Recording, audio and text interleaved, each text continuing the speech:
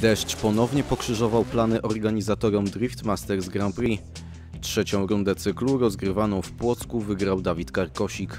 Przede wszystkim e, dla mnie dwa bardzo trudne dni, bo do końca w sumie auto nie jeździło, więc to jest dla mnie niesamowite, bo wczoraj cały dzień po każdym przejeździe, tu się taka jest specyfika, że wjeżdżamy, wyjeżdżamy co godzinę na chwilkę, więc kilka razy dosłownie mieliśmy możliwość korygowania mapy tak naprawdę silnika i cały czas auto nie do końca jechało tak jak powinno, nie miało mocy z dolnych obrotów, co jest kluczowe na tak ciasnym torze, na nawrotach.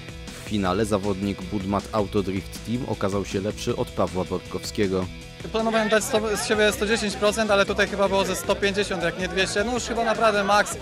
Trasa też była mokra. Tutaj w Płocku jest fajna trasa, ale na mokrym naprawdę daje się we znaki, więc myślę, że e, ciężko, ciężko byłoby z, przy takich e, ryzykownych atakach e, omi- ominąć trochę kontaktu, dlatego no, cieszę się z rezultatu i z, z takiej jazdy, że, że się udało to Trzecie miejsce zajął Piotr Więcek.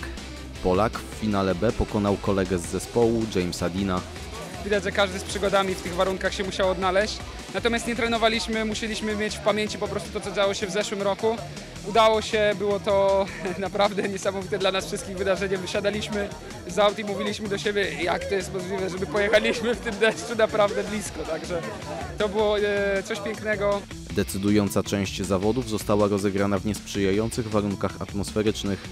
Nad stadionem w Płocku rozpętała się ulewa. Wielu kierowców nie było w stanie ukończyć swoich przejazdów. It was great fun to be a part of. I love my battle with uh, my Budmat teammate uh, Piotr Więcek. It was a crazy battle.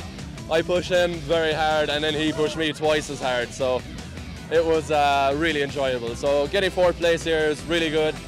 Kolejna runda Drift Masters Grand Prix odbędzie się 8 lipca w Toruniu.